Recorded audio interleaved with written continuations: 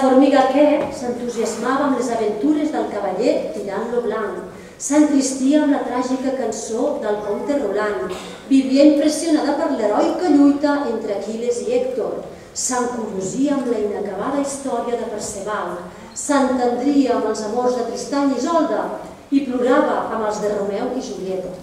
De manera que, a través de les seves nombroses lectures, la vida de la formiga que era d'una riquesa envejable, doncs ve d'aquí que una vegada va llegir el poema L'Atlàntida de Jacint Verdaguer i va quedar profundament impressionada per la història tràgica d'aquell continent que les aigües atlàntiques havien engolit sencer, amb la seva gent, amb els seus arbres, amb els seus animals, amb els seus amors, amb els seus neguits. Quan la formiga va saber que Verdaguer havia madurat el seu poema durant els anys que va passar viatjant com a capellà dels vaixells d'una companyia de viatges transatlàntics, també ella va tenir ganes de conèixer aquell misteriós oceà atlàntic que guardava al fons de les entranyes tot un continent d'un altre temps, la terra dels Atlants, la mítica Atlàntida. Però com que allò només es podia fer viatjant per les zones atlàntiques, calia agafar el farcell deixar la vinya grossa i emprendre el camí del mar.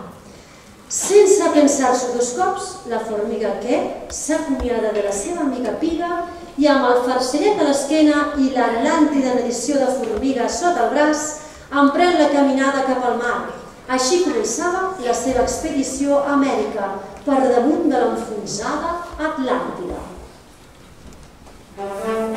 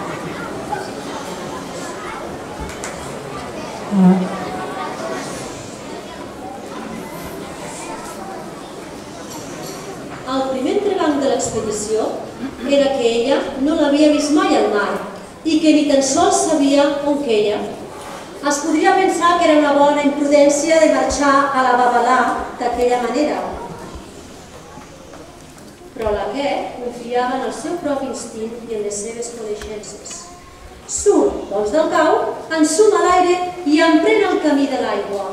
Camina que caminaràs, al cap d'una estona que ja es trobava a l'entrada d'una espessa selva verda, on el sol, amb prou feines, podia entrar de tant en tant a picar l'ullet algun dels seus mandrosos habitants. Un d'ells, un cargol monja de banyes elàstiques, era al vell mig del camí d'aquest. Que em deixaríeu passar? On vols anar, maca? Pregunta el tafaner al cargol. Me'n vaig a Amèrica, mestre. Tinc ganes de travessar el famós oceà que guarda al seu fons el vell continent de l'Atlàntida segons explica aquest gran poema de Verdaguer, replica rateta sàvia la formiga. El cargol, que era tan lent de rumiadora com de veus, no sabia res de Verdaguer, ni de l'Atlàntida, ni d'Amèrica. Per no saber, no sabia ni llegir. I es pensava ben bé que un poema era una varietat dolça de poma lleidatana. formiga,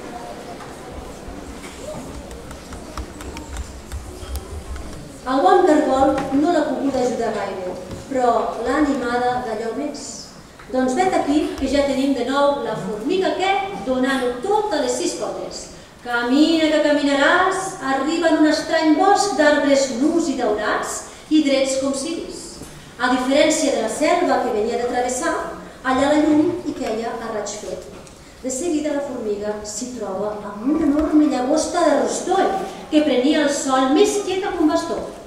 I no gens tímida, que l'escomet, per si pot orientar-la on era.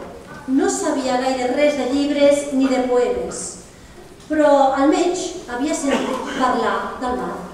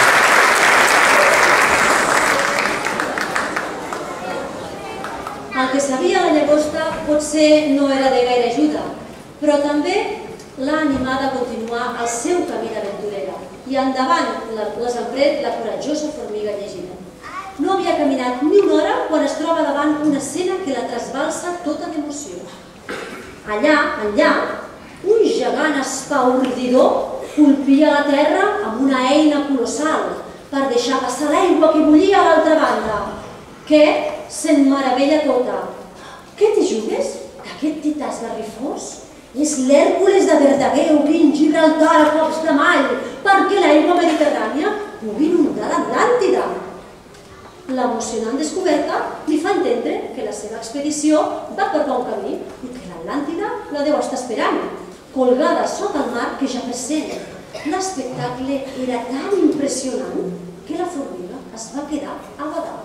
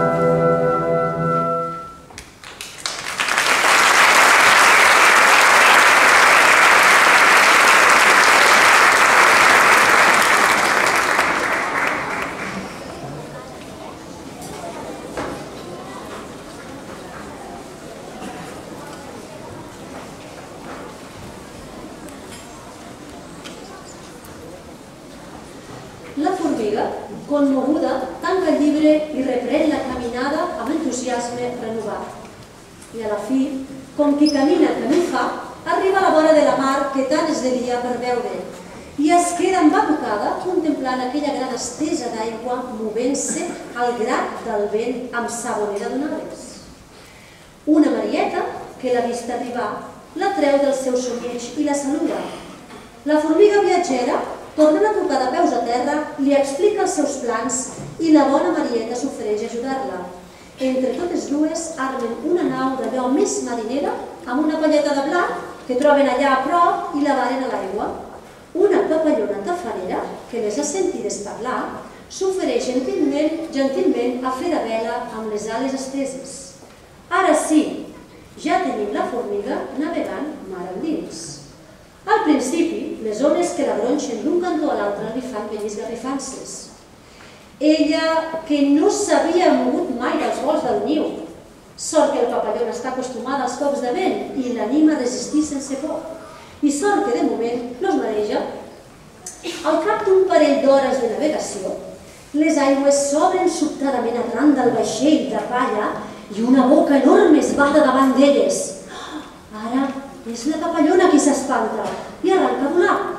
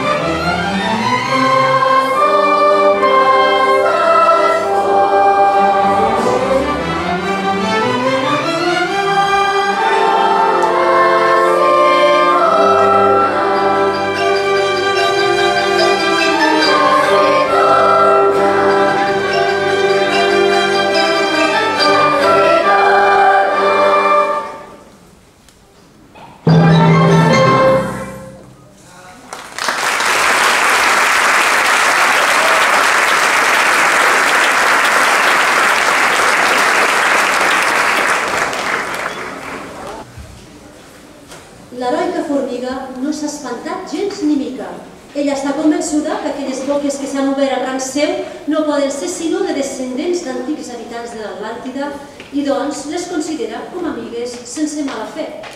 La papallona, pel seu cantó, en veure que els monstres no han fet res a la nau ni a la capitana, torna al pub vent, perquè la navegació continua i cal superar tots els obstacles d'una travessia tan agosarada.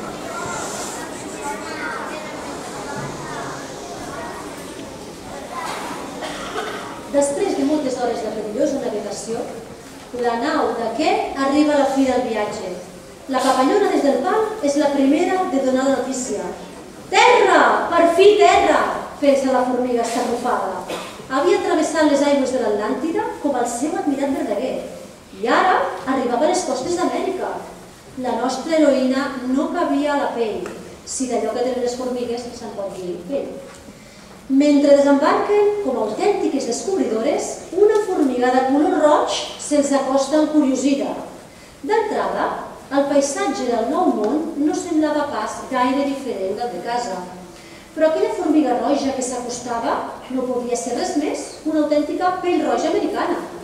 Les dues formigues se saluden amb les antenes enriolades i l'entusiasta que comença a explicar-li fil per randa la seva aventura i la seva passió per l'Atlàntida i el seu amor per Verdaguer. I no troba el moment de deixar parlar la seva nova amiga americana. Afortunadament, la formiga roja és eixerida i aconsegueix fer-se una idea del que li diu la forastera, arribada de l'altra banda del mar, però el que li ha de respondre, la veritat, no és gaire engrescador.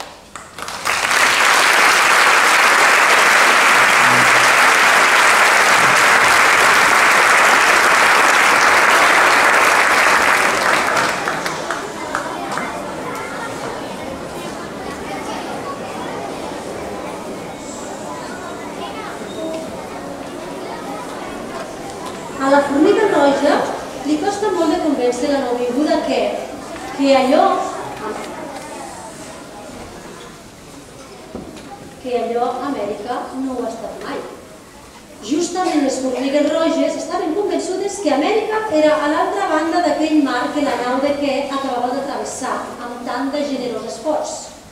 Així doncs, la formiga que havia desembarcat a la vinya petita i no pas en una platja del Carib. Tot el seu esperit d'aventura, tota la seva il·lusió, tot el seu coratge, només l'havien portada de la vinya grossa a la vinya petita. Ella estava segura que el llibre de Verdaguer no l'havia enganyada, però la veritat és que allò no era el que ella havia perseguit.